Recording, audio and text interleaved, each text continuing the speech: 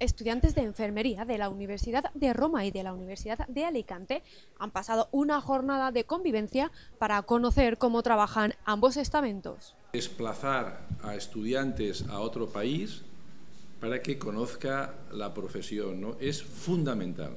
Estamos, estamos en un mundo globalizado durante su visita al Colegio de Enfermería de Alicante, los estudiantes y profesores italianos han podido saber más sobre el papel de la Organización Colegial de Enfermería y su relación con los enfermeros y enfermeras. Es fundamental que los colegiados sepan la profesión que hay, porque si no se va a su hospital y ya desconecta.